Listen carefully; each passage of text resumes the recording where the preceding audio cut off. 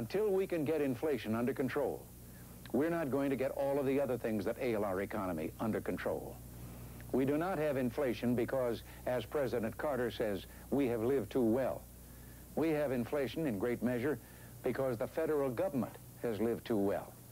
And by that, I mean it has become bloated, incredibly inefficient, and has year after year been spending more money than it takes in.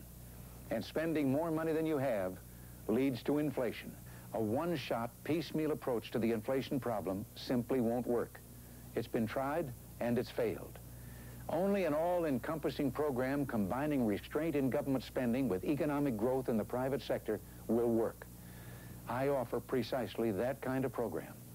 To look at the situation we find ourselves in today is to know that we not only need such a program, but that we need such a program now. The time is now for Reagan